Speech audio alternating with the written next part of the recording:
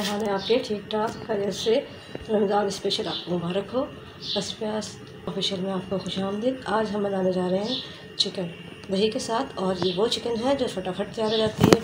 इसमें सिर्फ़ आपने ये करना है कि ये चिकन है, अगर आपके पास सिरका पड़ा है तो आप वो डाल दें। वन टेबल स्पून अगर नहीं है तो आप इसमें लेमन डालें मैं तो लेमन यूज़ करूँगी भाई, क्योंकि लेमन जो है बिल्कुल नेचुरल चीज़ है और उसका टेस्ट ही अलग आता है।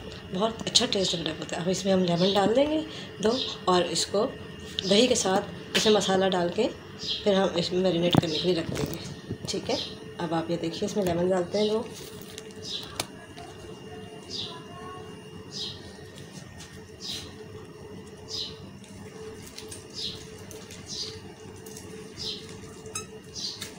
अच्छी तरह से आप निचोड़ लीजिएगा इसे। बीज हमने इसके पहले निकाल लिए।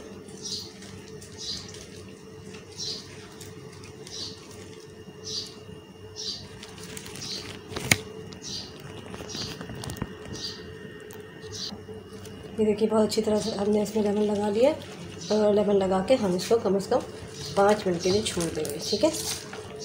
और साथ अगर हमें आपको टेस्ट अच्छा करना है तो इसमें थोड़ा सा सॉल्ट भी डालते दें हम इसमें एक टीस्पून सॉल्ट भी डाल देते हैं और इसको हम पाँच मिनट के लिए छोड़ते हैं।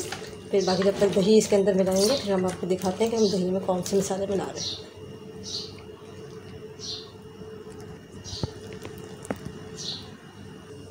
ये देखिए व्यूअर्स हमने इसमें वो लगा के, लेमन लगा के, दो लेमन लगा के छोड़ दिया था और हमने थोड़ा सा इसके साथ सॉल्ट भी लगाया, ठीक है? और हम इसको थोड़ा सा मल लेंगे ठीक है? अब आपको हम ये चीज़ें दिखाते हैं जो हमने इसमें ये देखिए, यहाँ रखे मसाले, ठीक है?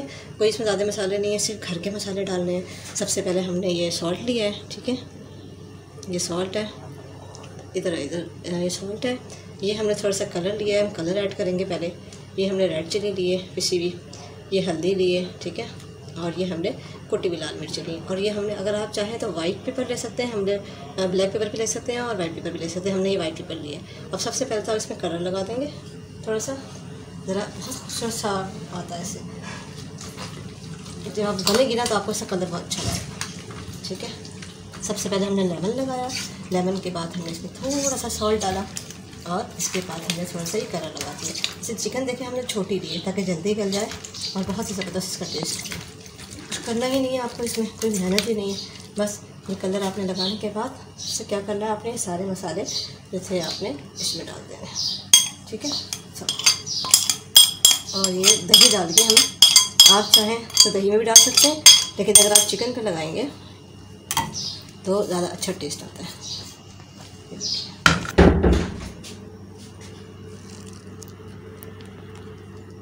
ये देखिए ये करने के बाद अब हम इसमें ये दही ऐड कर देंगे।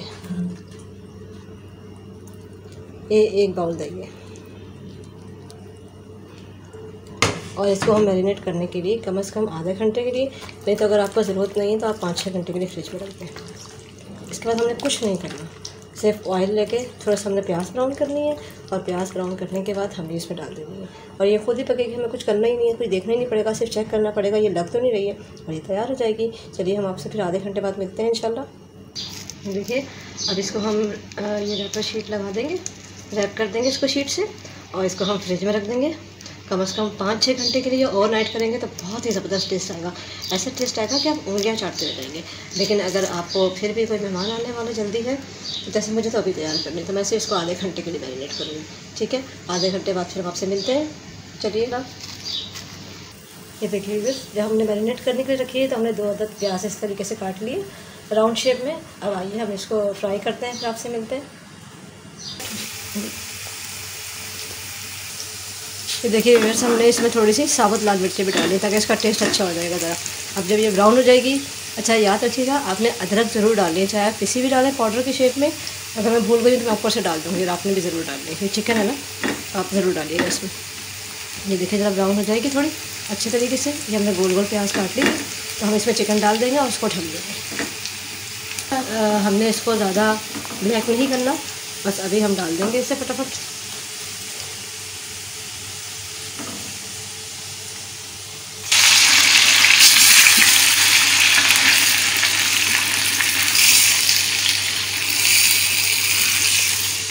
बहुत ही अमी बनेगी ये, रमज़ान स्पेशल में। अल्लाह ताला सबके रोज़े कबूल फरमाए और हम, आप सबके भी, हम सबके भी, हम सब की नेकियाँ भी कबूल फरमाए और पूरे रोज़े रखने की तोफ़ी अता फरमाए। और हमारी ज़बान से और हाथ से किसी को कोई तकलीफ़ ना पहुँचे।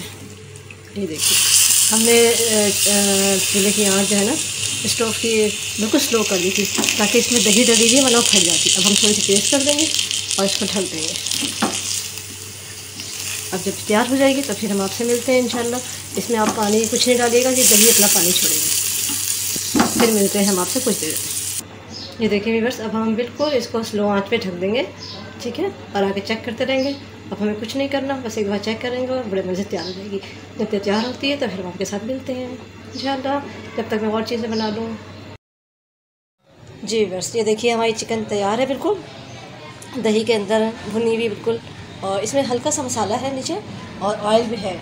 लेकिन ये ज़रा भुनी भुनी बनती है और बहुत ही टेस्टी होती है। तो आप ये खाइएगा, दुआ में याद रखिएगा। बहुत मज़े की है।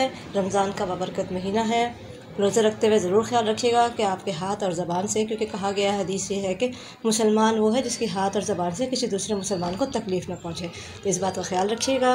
बिस्मिल्लाह पढ़ के खाइएगा और खाने के बाद शुक्र अलहमदिल्ला पढ़िएगा और दुआ में मुझे याद रखिएगा। सब्सक्राइब कीजिएगा, लाइक कीजिएगा। आपकी चीज़ों की मुझे बहुत सख्त ज़रूरत है। आपकी पसंद, नापसंद मेरे लिए काबिल एहतराम है। अल्लाह हाफिज़।